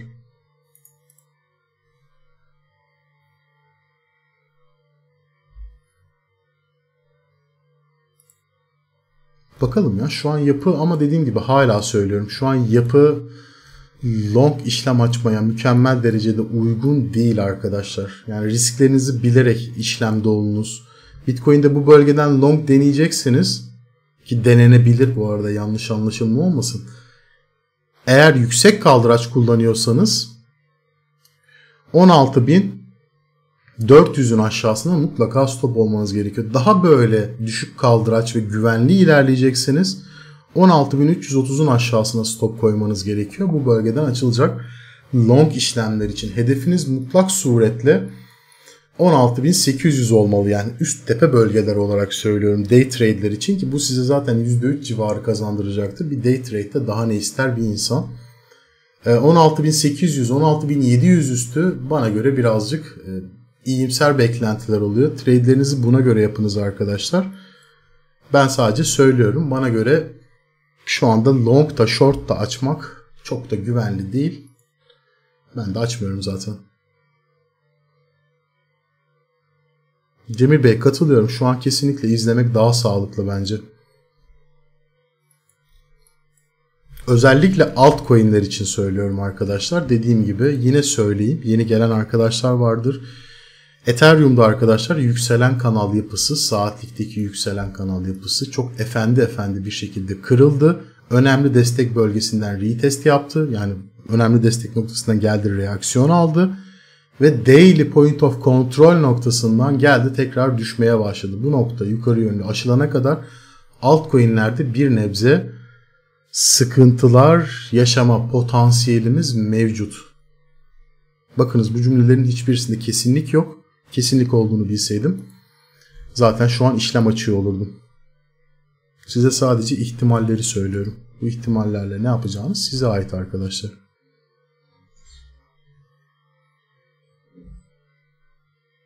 Hasan Bey hoş geldiniz. Teşekkür ederim. Bitcoin günlükte pozitif uyumsuzluk var mı? Var. Uzun zamandır var Cem Bey. Yeni dün bugün olan bir şey değil. Çok daha öncesinde oluştu. Bitcoin 17 binleri ilk denediği zamanda bir pozitif uyumsuzluğun sinyalleri orada başlamıştı. 17 bini ilk ne zaman denemişti? Yanlış hatırlamıyorsam Ağustos'ta mıydı?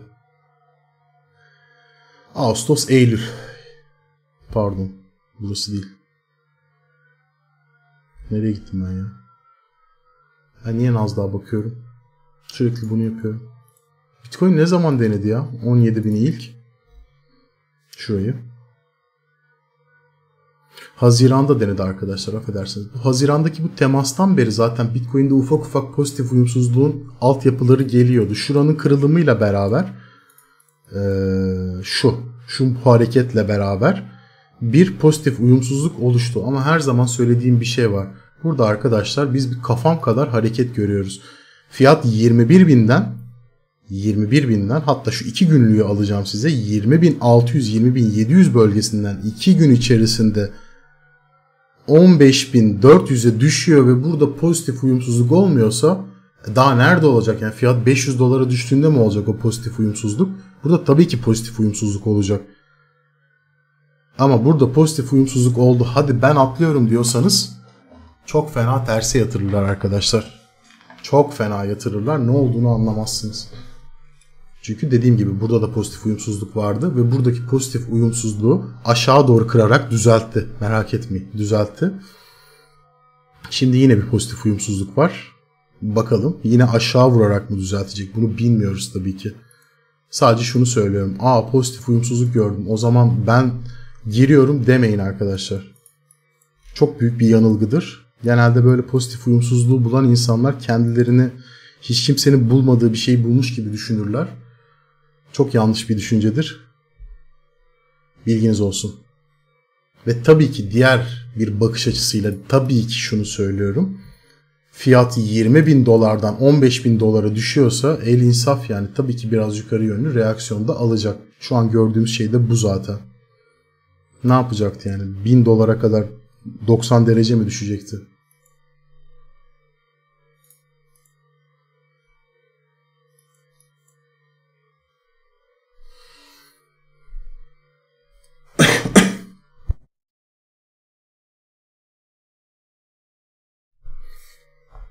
Piyasa döner mi Aralık ayında FED'den 50 gelince? Ya bunun kriptoya da bir yansıması olacağını düşünüyorum açıkçası. Tabii ki eskisi kadar büyük değil. Yani bundan 1,5-2 ay önceki kadar bu FTX olaylarından önceki kadar pozitif yansımayacaktır. Tıpkı geçtiğimiz enflasyon verisinde söylediğim şeyi hatırlıyor musunuz arkadaşlar? O zaman dedim ki veri çok iyi gelirse, veri iyi gelirse bu az pozitif yansıyacak. Veri kötü gelirse çok negatif yansıyacak demiştim. Şu anki şey için de aynı durum geçerli. Ee, şu anki e, hem enflasyon verisi hem de e, şey için faiz kararı için de aynı şey geçerli. Eğer olumlu gelirse az olumlu olacak. Olumsuz gelirse çok olumsuz olacak.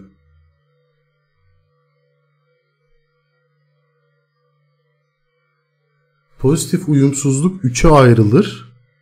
Pozitif uyumsuzluk, gizli pozitif uyumsuzluk, çok gizli pozitif uyumsuzluk. Ben de ciddi ciddi okuyorum bunu Araf hocam ya. Bir de dördüncüyü ben okuyayım. Dördüncüsü de var tabi. Bunu tabi yayıncı olmayanlar bilmez. Ben yayıncı olduktan sonra öğrendim. Sadece yayıncıların gördüğü pozitif uyumsuzluk var bir de. Bunlar yani kanıtlı bunlar. Bir ara ciddi ciddi okudum ama yorumu.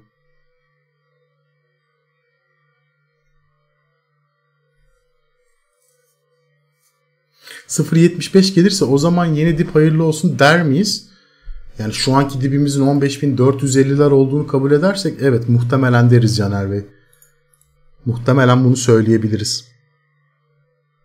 Ya en azından şöyle söyleyeyim. En azından 15.400'ün aşağısını bir denemek ister o süreçte. Ben 75 geleceğine inanmıyorum ama. Çünkü bir buçuk iki aydır bunun altyapısı e, 50 bas puanın altyapısı yapılıyor. Amerika'dan gelen açıklamalar 50 bas puan geleceği yönünde. Çünkü şu açıklamaları duyuyoruz son bir haftadır Amerika tarafında. Özellikle Fed üyelerinden. Fed e, şey pardon faiz artışları devam edecek. Faiz artışları devam edecek şeklinde ama burada söylemedikleri şey şu. Daha doğrusu bazıları bunu söylüyor ama genelinin söylemediği şey şu. Faiz artışı yavaşlayarak devam edecek. Yani 50 bas puan da bir faiz artışıdır. 25 bas puan da böyledir. E doğal olarak faiz artışları devam edecek arkadaşlar. Bir problem yok bu konuda. Sesim iyice şey titremeye başladı bu arada ya. Bayağı şey oldu. Bu kadar problem yaşayacağımı düşünmemiştim bu yayında. Amerika çekilmeye devam ediyor. Az kaldı işlem açacağım. Çok çok az kaldı işlem açmama. Planlama aşaması devam ediyor.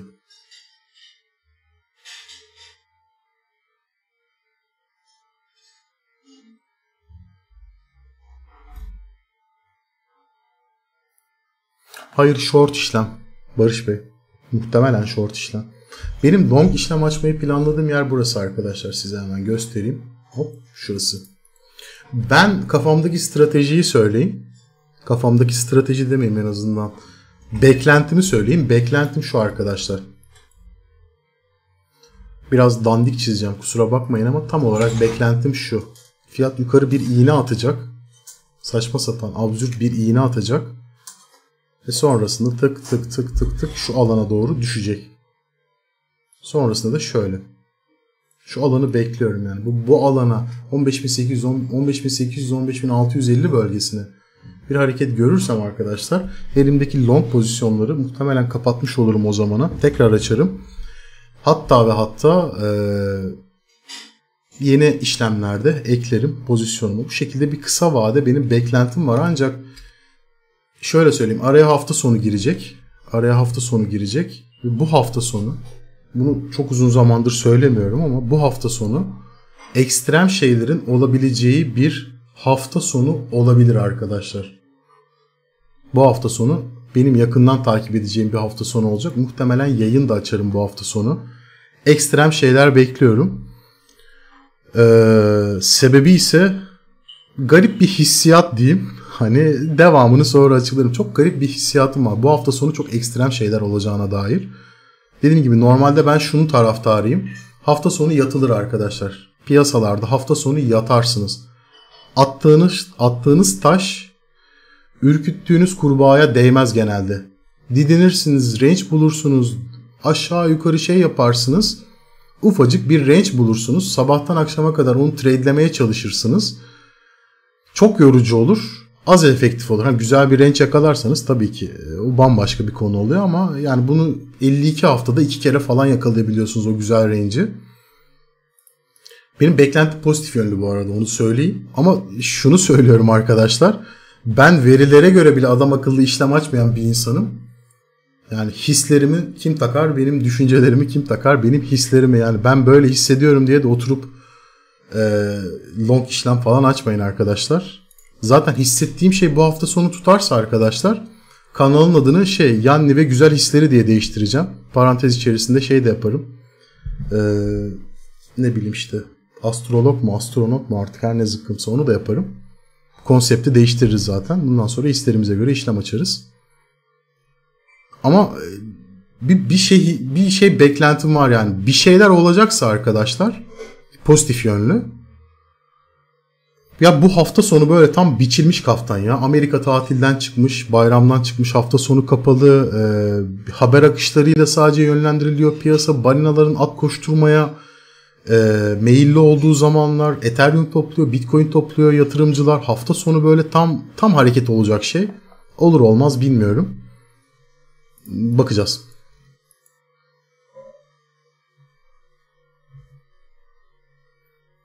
Cem Bey altın, gümüş, emtia, ne bileyim işte gıda emtiaları, forex işlemlerinizi bankanızdan yapın. Hangi bankayı kullanıyorsanız.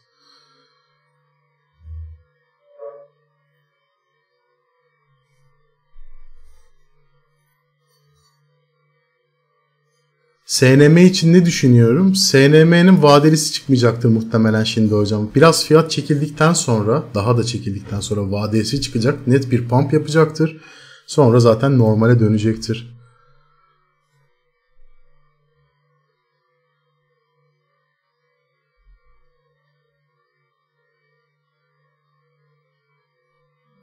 İşlem açarsanız Telegram işlem açarsam Telegram'dan söylerim muhtemelen arkadaşlar. Eğer o an aktif olursam tabii ki söylerim. Öyle işlem saklamak gibi bir şeyim yok. Bir durumum yok. Mesela birazdan işlem açarsam söyleyeceğim birazdan. Yok Telegram chat'i kurmuyorum hocam şu anda. Onu onu bazı arkadaşlarla konuşacağız. Planlarımız arasında var ama şu anda değil.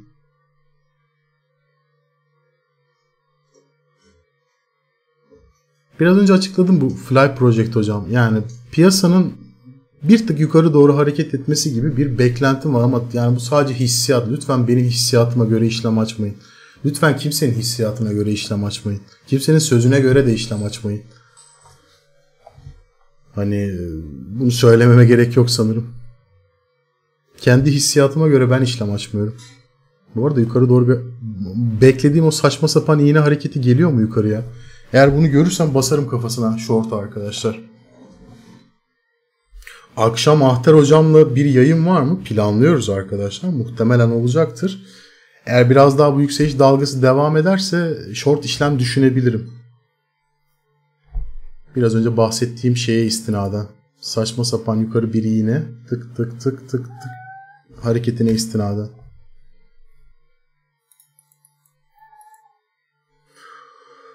Ethereum çok güzel göründü. Saatlikteki şu Ethereum mumu var ya arkadaşlar. Çekici kafasına vururum, yürütürüm ben bunu der gibi görünüyor şu anda. 4,5 dakika var yaklaşık kapanmasına.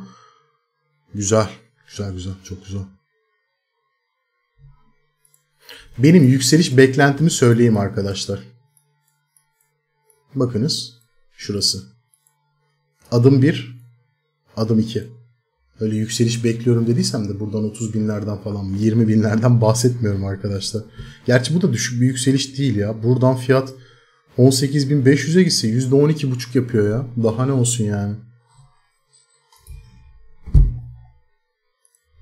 Bakalım kafada bir sürü senaryo var ya. Kafada bir sürü senaryo var. Ya şey senaryosu öncelikle gerçekleşti. Aşağı doğru bir inmemiz gerekiyordu. Aşağı doğru bir indik. Bu bir. Bu gerçekleşti. Şimdi yukarı doğru çıkıyoruz arkadaşlar. Ee, bir problem yok. Hatta şu sürecin öncesinde şey diyordum hatırlarsanız. Önce bir yukarı vurmamız gerekiyordu. Burada 17.200'leri falan vesaire bir denedik. Sonra bir akümülasyondan sonra tekrar 17.000'i denedikten sonra düştük. Şu an daha da iyi oldu. Efendim kızım. Efendim. Pardon arkadaşlar. Pi biraz sinyal veriyor da.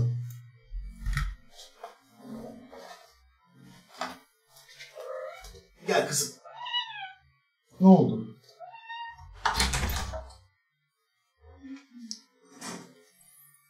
Bir şeyler istiyor benim kızım.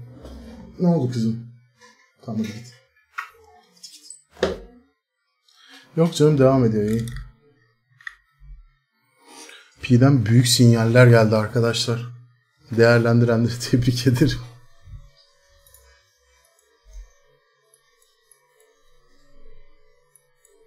Efendim? Çay var mı bu arada? Boğazım bayağı tarşı oldu. Pardon arkadaşlar.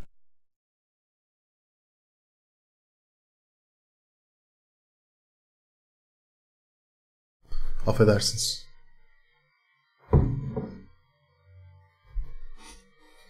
Bir sinyali verdi arkadaşlar anlayana.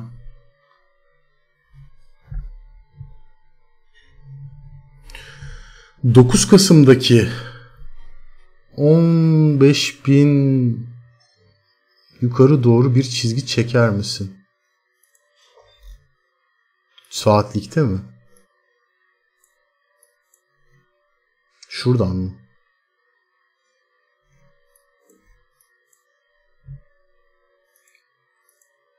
Şöyle mi? Bir saniye çizeceğim şimdi çizeceğim. Merak ettim bunu.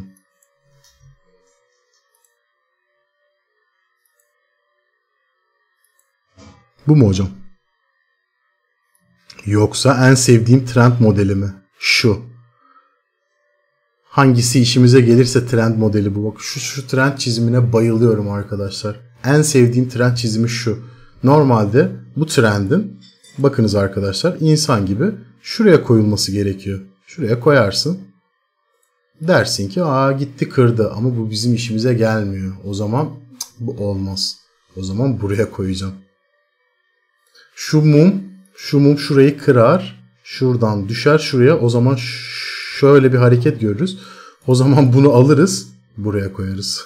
böyle böyle trend çizimleri. Bayılıyorum böyle trend çizenlere. Bazen görüyorum da Vallahi diyorum helal olsun mükemmel trend çiziyorsun. Bu trend yanlış bir trend arkadaşlar. Elinizin altında böyle bir çizim varsa bunu alırsınız buraya koyarsınız. Nereye gidiyorsa gitsin dersiniz. Şurası sizi ilgilendirmiyor arkadaşlar. Bakınız bu trendi şöyle çizersiniz. İlla çizeceksiniz tabi. Şöyle size hemen göstereyim. Bakınız teması aldı. Teması aldı burada. Daha şu an çizdiniz arkadaşlar bu trendi. Şu an bu trendi çizdiniz. Bakınız ilerisi yok. Nereye gideceği benim zerre umurumda değil. Yok ilerisi yok. Ben bu trendi çizdim. Bu kadar bu trend. İlerisini bilmiyorum. Ne olacağını bilmiyorum. Görerek trend çizmek kadar büyük bir saçmalık yoktur arkadaşlar. Siz çizerseniz o nereye giderse gider. Sizin istediğiniz yere gitmez. Sonra da burada trendin kırıldığını söylersiniz. Olay bitmiştir. Bu da bir trend çizim yöntemidir. Bilmeyenlere duyurulur arkadaşlar. Böyle bir trend yoktur. Böyle daha güzel görünüyor o zaman buraya çizim. İnşallah. Hatta daha da iyi dursun diye şuraya alırsınız onu. İnşallah. Olur olur. Böyle bir trend yok arkadaşlar. Eğer bahsettiğiniz trend buysa.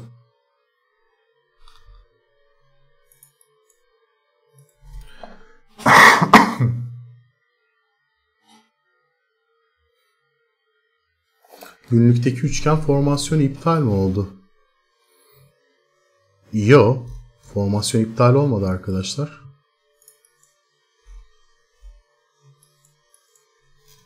Şurada kırdık zaten o formasyonu. Şurada. Şuradan bahsediyordum ben size hatırlarsınız. Şu. Şöyle bir şöyle bir üçgen vardı. Bu kırıldı. Düştük. Dinleniyoruz. Yukarı çıkacağız. Tekrar ineceğiz. Daha küçük, daha kısa vadedeki formasyondan bahsediyorsanız tabii ki henüz devam ediyor. O da şöyle bir üçgen arkadaşlar. Bakınız. Şöyle bir üçgen. Bu daha küçüğü. Bakınız şöyle bir tane geliyor. Sembolik olarak gösteriyorum. Şöyle. Görüyor musunuz? Bu kusursuz çizersiniz. Böyle bir üçgen yapısı. Yukarı doğru kırıldığını görürseniz dersiniz ki yapı bozulmuştur. Aşağı doğru kırıldığını görürseniz dersiniz ki aktifleşmiştir. Saatlikte veya 4 saatlikte daha rahat çizebilirsiniz. Bakınız trend dediğiniz şöyle çizilir arkadaşlar. Alırsınız şunu şuraya koyarsınız. Sonra şuraya koyarsınız. Nereye gidiyorsan git dersiniz. Bu kadardır. Şu anda da net olarak kırıldığını göremiyorum ben bunu.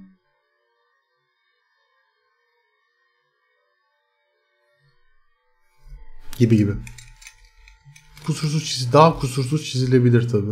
Şimdi şey yapmayalım.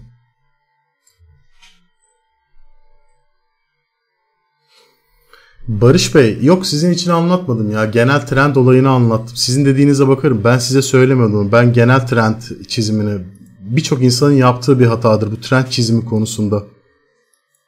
İnsanlar genellikle trendleri bu şekilde çizer. Sizin söylediğiniz farklı olabilir. Sizin söylediğiniz şu mu acaba ya? Ben bu 9 Kasım olayını biliyorum sanki. Bir saniye. Şunu mu diyorsunuz acaba? Bunu mu diyorsunuz hocam? Şöyle. Bakınız burada bir şey var. Şunu görüyor musunuz? Şu. Şunu mu diyorsunuz? Kalınlaştırdım bakın. Rengini de sarı yaptım. Ş- şundan mı bahsediyorsunuz?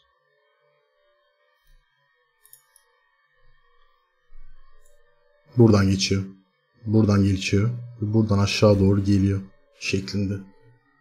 Ya da siz bana direkt şeyi atın arkadaşlar. Bu, bu arada bu grafiği yakından takip edeceğim zaten. Şu an benim en genelde takip ettiğim şey bu. Şu. Ve şu. Bu birinci takip ettiğim şu an Bitcoin'deki genel kanallardan biri. Bir de şu arkadaşlar. Şu. Bu da takip ettiğim ikinci kanal Bitcoin'de.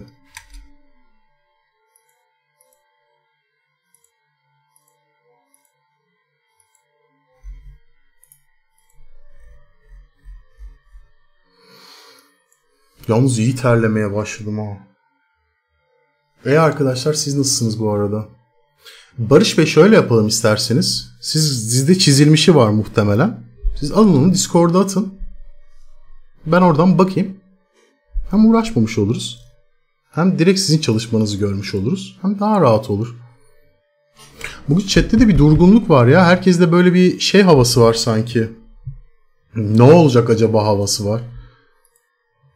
Nasdaq yükseliyor. Pardon S&P yükseliyor. Nasdaq kötü görünüyor. DXY tepki alması gereken yerden tepki aldı şu anda teknik olarak. Şu an kısa vadede bir problem görmüyorum. Ethereum biraz fazla reaksiyon aldı alması gerekenden ki bu benim için iyi. Bir sürü long pozisyon taşıyan, bir sürü spot pozisyon taşıyan biriyim. Sevindim tabii ki bunu gördüğümü ancak güçlü görünüyor. Ben burayı bayağı yakından takip edeceğim 1203 seviyesini. Bitcoin beklentim nedir kısa vade? Anlattım hocam içimden geçenleri biraz önce. Tabii ki siz içimden geçene göre e, işlem yapmayın arkadaşlar.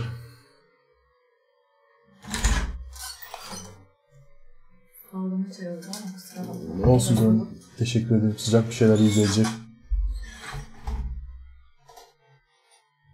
Yusuf Bey iyi yolculuklar. Lütfen dikkatli kullanın. Sizin için rakamları ve bölgeleri daha yüksek tonda baskılayarak söylemek isteyeceğim. Siz yine de gözünüzü yoldan ayırmayın. Dikkatli olun arkadaşlar. Ee, Soner Bey, e, o haberi duydum, görmedim. Hmm, tepkimi sonra dile getireceğim. Hiç girmedim o konuya. Aa, aa derin derin arkadaşlar şimdi size çok önemli bir duyuru yapmam gerekiyor. Çok ultra önemli bir duyuru yapmam gerekiyor. Bu duyuruyu yapmazsam ee, olmaz.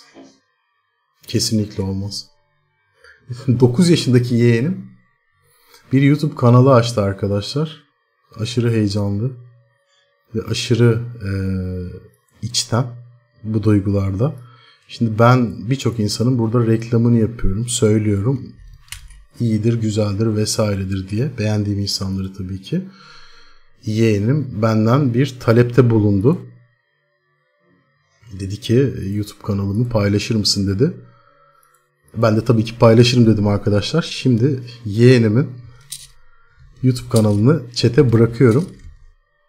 Takip ederseniz 9 yaşındaki bir kız çocuğunu çok mutlu etmiş olacaksınız. Çok teşekkür ediyorum şimdiden.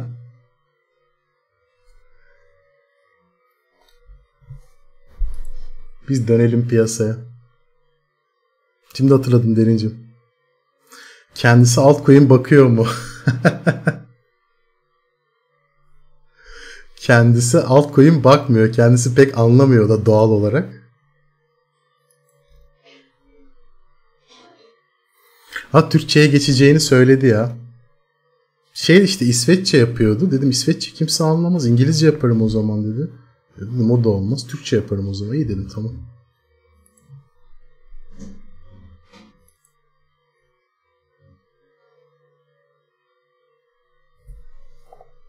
NFT hakkında ne düşünüyorsunuz? Hangi NFT'den bahsediyorsunuz Eren Bey? Oo. NFT'ler olarak genel olarak soruyorsanız büyük devrim diyorum ama piyasalar açısından değil. Tahmin edebiliyorum.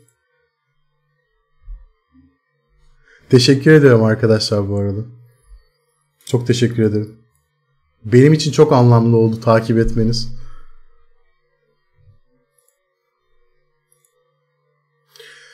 Şimdi piyasalarda ne görüyorum arkadaşlar? Ben yine piyasa şeyime döneyim. Ya benim bu arada kar realizasyonu yapmam lazım bu işlemlerde. Ben fazla fazla greedy oldum şu anda. Şu an bayağı çünkü bayağı bayağı kar yazıyor. Ben ufak bir kar realizasyon işine giriyorum arkadaşlar. Çok ufak bir kar realizasyon işime giriyorum bu bölgede. Müsaadenizi isteyeceğim. Özellikle Ripple'dan başlayacağım ki Ripple güzel bir hareket yapmıştı. Ee, burada güzel bir kar realizasyonu sağlayacağım. Güzel oldu. Okey. Atom gel buraya.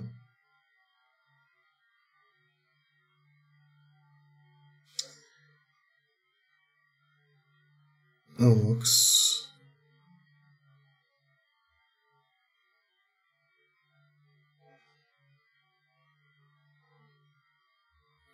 Bir de Matik.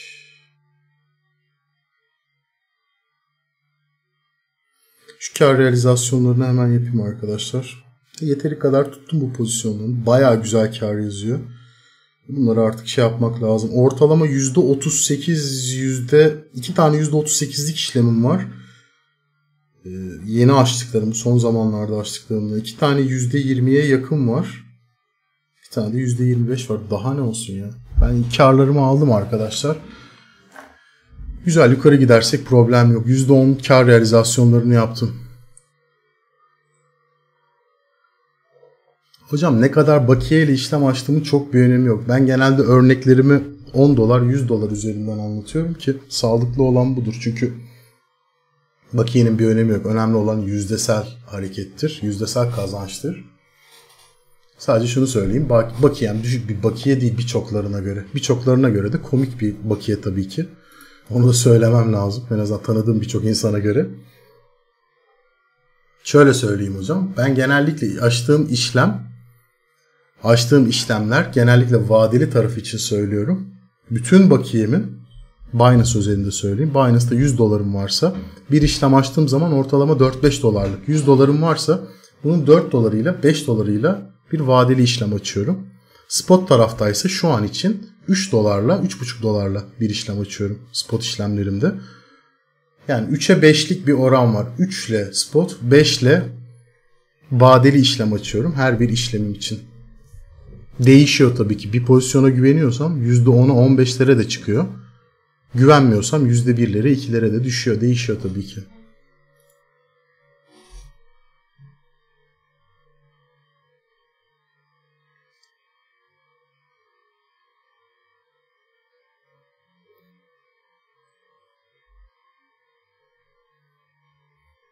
Her zaman nakit bırakıyorum hocam kenarda. Her zaman.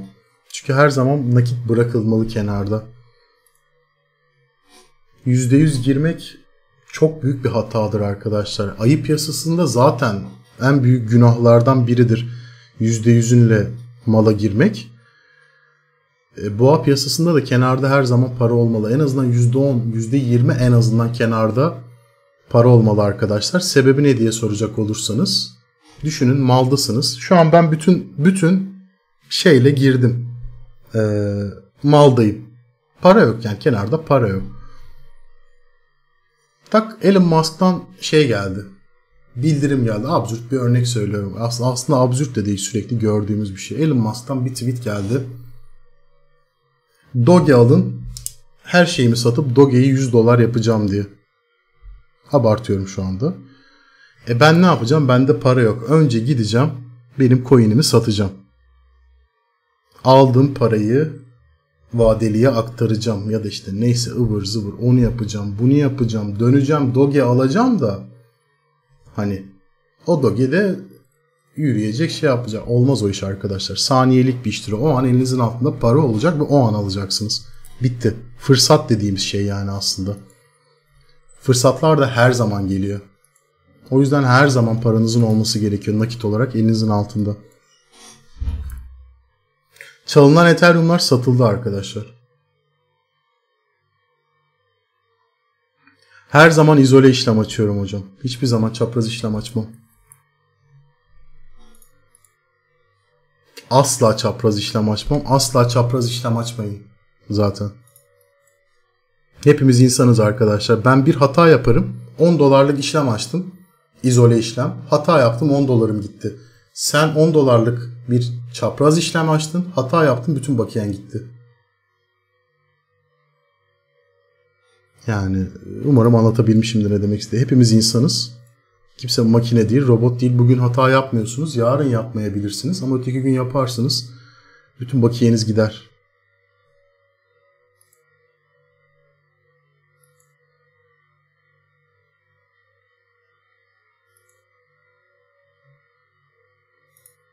Hocam Şenol Bey haklısınız zaten. Ben yani izolede de stop kullanıyorum. Çaprazda da yani cross, izole fark etmiyor. Hepsinde stop kullanılmalı zaten. Ama diyorum ya insanız arkadaşlar. Yani. Yani 500 işlemde koyarsın. Bir tanesinde bir şey olur o an. Koymayı verirsin. O da ters gideceği tutar. Olur ya.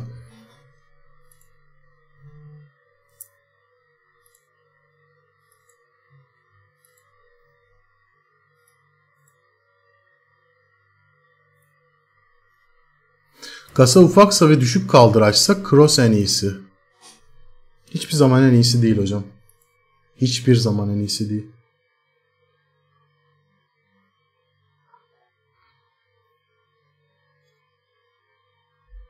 Ya gibi gibi birçok sebepten dolayı. Burada güvenlik endişelerimden dolayı ben her zaman izole kullanıyorum.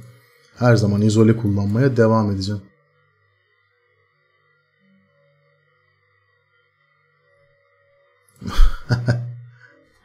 Vardır bir fikri hocam ya. Niye olmasın zor bir konu değil. Güzel görünüyor. Amerikan piyasaları hala güzel görünüyor. Altın tarafı biraz toparlamıştı ki bir geri çekilme görülüyor. Petrol tarafı düşüyor teknik olarak hala. Ethereum Bitcoin bu arada 72 seviyesinde tutunmaya devam ediyor. Baya kritik.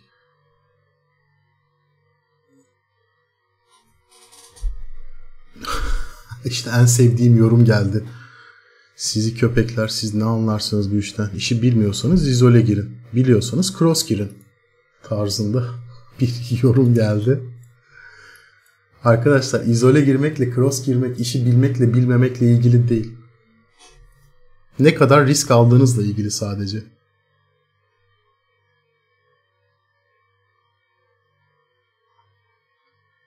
Bence 100x işlem de girilmemeli ama insanlar giriyor. Ne kadar risk almak istediğinizle ilgili tamamen. İşi bilip bilmemekle alakası yok yani durumun. Yo yo ben anladım anladım hocam. Anlıyorum. Kötü niyeti söylemediğiniz de farkındayım. Arkadaşlar ben ufak ufak yayının sonuna geleceğim. Sesim artık iyice böyle çok tabir etmek istemediğim ama halk dilinde kullanılan bir tabir vardır. Hani sesi bir şey gibi oldu derler. Benim ses iyice böyle kaymaya başladı tekrar. Ben biraz daha şey olurum diye düşünüyordum. Daha canlı şekilde devam ederim diyordum. Ya yayının bir yerinden sonra böyle sesi dinlenme moduna aldım biraz ama yine de sesim böyle titremeye başladı benim. Ee, şey yapmayalım. Akşam yine yayında olacağız Ahter hocamla. Şey olmasın. E, ilk, ilk girişten direkt şey olmasın. Zorlamayayım kendimi. Bir de bayağı terlemeye başladım. Ki bu iyi bir şey. Bakalım akşam yayın açarız muhtemelen Ahter hocamla. O da iyi değil bu arada. Ona da geçmiş olsun. Kapatmadan bir short mu girsek? Vallahi hocam siz girebilirsiniz. Ben dediğim gibi net bir şekilde karımı aldım aşağı yukarı bu bölgelerde bir yerde %10 kar realizasyonu yaptım. Pişman değilim yukarı giderse zaten hali hazırda güzel işlemler taşıyor olacağım. Akşam 11'de yayında oluruz. Ben yeğenimin linkini bıraktım yine takip ederseniz dediğim gibi onu da beni de mutlu etmiş olursunuz. Çok teşekkür ediyorum arkadaşlar bu arada katıldığınız için. Biraz tempo düşüktü. Ee, dediğim gibi daha iyi olduğumu düşünüyordum. O kadar da iyi değilmişim meğerse. Daha iyi olacağım. Yavaş yavaş iyileşiyorum. Katıldığınız için çok teşekkür ederim arkadaşlar. Hepinize bol bol kazançlar diliyorum. Lütfen stop kullanmayı unutmayınız. Hepinize bol bol kazançlar diliyorum arkadaşlar. Görüşmek üzere.